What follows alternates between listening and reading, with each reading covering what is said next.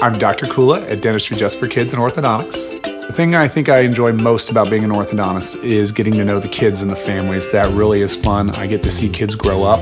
Some of these kids I'm going to be seeing between ages 7 through 17, and so that is a really fun thing, getting to know the families. I'm Dr. Kula, and smiles start here at Dentistry Just for Kids and Orthodontics.